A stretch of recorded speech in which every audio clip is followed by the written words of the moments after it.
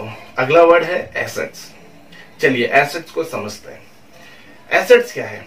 किसी भी बिज़नेस के लिए एसेट्स वो चीज़ है जिसे उसने ओन किया हो. अगर हम उसकी डेफिनेशन पे देखें तो पहले डेफिनेशन क्लियर कर लेते हैं. डेफिनेशन सिंपल सी है. Everything which own by the business and will give benefit along with today in future also ठीक है? तो ये एक डेफिनेशन है एसेट्स की. और इससे हम इसका मीनिंग निकालेंगे. क्या कहना चाह रहा है? जी, कह रहा है बिज़नेस के लिए हर वो चीज़ एसेट्स है या कंपनी के लिए हर वो चीज़ एसेट्स है जिसे कंपनी ने ओन किया है। पहली कंडीशन यानी कि ओन का मतलब है मालिकाना हक। ठीक है, कि जिसपे कंपनी का मालिकाना हक हो। दूसरा कंडीशन आज के साथ साथ वो फ्यूचर में भी कंपनी को बेनिफिट देगी। जिस भी चीज़ पे ये दो कंडीशन लागू हो जाए, वो कंपनी के लिए क्या है? एसेट्स है। ठीक है, अब यहाँ पे क्या है? मालिकाना हक फ्यूचर और बेनिफिट, इन तीन वर्ड को अलग निकाल लेते हैं। क्या कहा है? हर वो चीज़ जिसपे कंपनी का मालिकाना हक हो, और आज के साथ साथ फ्यूचर में भी वो बेनिफिट दे। तो फ्यूचर वर्ड, बेनिफिट वर्ड और मालिकाना हक, इन तीनों को समझ लेते हैं। मालिकाना हक का मतलब क्या होता है? कि कंपनी ने उसे पैसे देके ओन किया है। तो अब उस पर कंपनी का हक है। ठीक है? ऑनर का हक नहीं है। किसका हक है? कंपनी का हक है। दूसरी चीज़ उसने कहा कि आज के साथ साथ फ्यूचर पे भी वो बेनिफिट दे। वैसे तो कंपनी बहुत सारी चीज़ों पे पैसा खर्च करती है बट हर चीज़ आज के साथ साथ फ्यूचर पे बेनिफिट नहीं देती है। तो इसीलिए ये लाइन मेंशन कर दी कि जो आज के साथ साथ फ्यूचर में भी कंपनी को बेनिफिट देगी। तो यहाँ पे फ्यूचर और बेनिफिट वर्ड इन दोनों को समझ लेते हैं।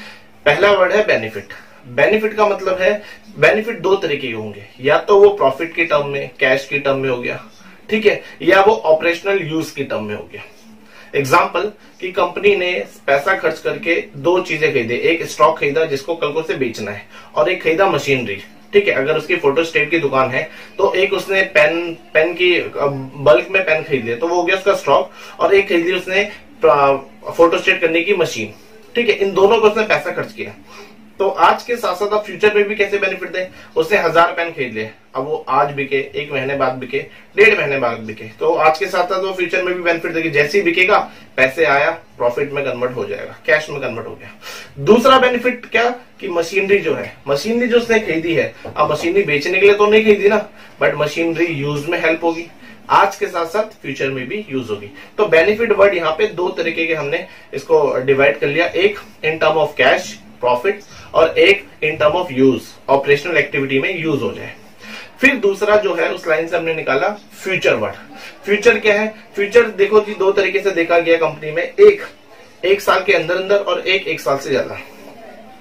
एक साल से अंदर जो यूज़ होगा, वो एक साल से अंदर जो यूज़ कर चुके हैं या कर पाएँगे एक साल तक, उसको हम बोलेंगे करंट एसेट्स ठीक है? और जो एक साल से ज़्यादा टाइम तक चलेगा, ज़्यादा टाइम तक बेनिफिट देगा, उसको हम बोलेंगे फिक्स एसेट्स तो यहाँ पे सिंपल सी जो डेफिनेशन थी सिंपल सी जो डेफिनेशन थी, उससे हमने क्या निकाला? दो वर्ड निकाल लिए, दो मीनिंग निकाल ली है आसानी से। पहला क्या? कि जी हर वो चीज़ जिसपे कंपनी का मालिकाना हक हो, जिसे कंपनी ने पैसे खर्च करके ओन किया हो राइट वो एसेट्स है और प्लस दूसरी कंडीशन फॉलो होनी चाहिए क्या? कि वो आज के साथ साथ कंपनी को फ्यूचर में भी बेनिफिट दे। बेनिफिट वर्ड क्लियर हो गया और फ्यूचर वर्ड क्लियर हो गया। ठीक है? इसी के, इसी डेफिनेशन के बेसिस पे हमने टाइप्स ऑफ़ एसेट्स सबसे पहले एसेट्स के एग्जांपल ले लेते हैं कुछ। जैसे कि क्या? कैश कंपनी पे मालिकाना क्या अगर कंपनी का कैश है। फर्नीचर अगर कंपनी ने खरीदा है तो उस पर भी मालिकाना क्या है? वॉच के साथ साथ फ्यूचर में भी बेनिफिट देगा। लैंड एंड बिल्डिंग कंपनी की अगर लैंड एंड बिल्डिंग है तो आज के साथ साथ फ्यूचर में भी बेनिफिट देगी और कंपनी पे उस पर हक होगा। फिर बोला मशीनरी कंपनी अगर कोई मशीन मशीनरी खरीदती है तो एक तो कंपनी का हक है और आज के साथ फ्यूचर में भी बेनिफिट देगी। फिर स्टॉक स्टॉक भी कंपनी पैसे खर्च करके अपना बनाती है और वो उसे बेचती रहेगी। जब तक बेचती रहेगी, तब तक उसे बेनिफिट देगी। ठीक है? डेटर डेटर क्या होते हैं? जिसको कंपनी ने उधार में सामान बेचा है तो एक तो वो डेटर है क्योंकि इससे पैसे आने, दूसरा वो कभी भी आ सकते हैं। आज नहीं, एक महीने बाद, छह महीने बाद, वो जब भी आएँगे वो कंपनी के लिए बेनिफिट ही है। ठीक है? बिल रिसीवेबल कि उस डेटर को उस बिल के बिहाव पे पेमेंट दी है। वो आगे, अभी आपको वर्ड समझ में नहीं आएँगे बिल रिसीवेबल डेटर ज़्यादा, क्योंकि एसेट सेकंड टर्म है। तो जैसे जैसे मेरी सारी वीडियोस कंप्लीट हो जाएँगी देन आपको डेटर बीआर सब कंप्लीट हो, अच्छे से समझ में आ जाएगा। तो ये तो थे एसेट्स के एग्ज़ाम्पल अब एसेट्स को हमने पाँच टाइप्स में बांटा हुआ है। ठीक है, सबसे पहला करंट एसेट्स करंट एसेट्स कौन से? अब एसेट्स की डेफिनेशन में ही थोड़ा सा मॉडिफाई करना समझना है। एसेट्स की डेफिनेशन में कोई चेंज नहीं है और उसी से ये पाँच बने हैं। क्या बोला? हर वो चीज़ जो आज के साथ साथ फ्यूचर में बेनिफिट देगी और जिसपे कंपनी का मालिकाना हक हो। उस फ्यूचर में से विद इन वन ईयर निकाल दो करंट एसेट्स होगी। ठीक है टाइप्स ऑफ़ एसेट्स में जो सबसे पहला एसेट्स है करंट एसेट्स वो एसेट जो कंपनी को एक साल के अंदर अंदर टाइम तक ही बेनिफिट दे पाए, उन सभी एसेट्स को हम क्या बोलेंगे? करंट एसेट्स दूसरा आ गया फिक्स एसेट्स फिक्स एसेट्स क्या जो एक साल से ज़्यादा टाइम पीरियड तक कंपनी को बेनिफिट दे, वो क्या हो गए आपके? फिक्स एसेट्स हो गए. तीसरा आता है टेंजिबल एसेट्स वो एसेट्स जो कम जिसको हम छू सकते हैं. कंपनी की वो एसेट जैसे फर्नीचर हो गया मशीनरी हो गया लैंड एंड बिल्डिंग हो गया, इनको हम छू सकते हैं. ठीक है? स्टॉक हो गया, इनको हम छू सकते हैं कि ये रहा स्टॉक तो इनको हम बोलते हैं टेंजिबल एसेट्स फिर आता है आपका इनटेंजिबल एसेट्स एसेट्स तो है बट हम उन्हें छू नहीं सकते. जैसे कंपनी का नाम होना. ठीक है? आप उसे ट्रेडमार्क गुडविल ये जो है गुडविल का मतलब होता है good name in the market और उससे कंपनी को बेनिफिट मिलेगा. आज भी मिलेगा फ्यूचर में भी मिलेगा.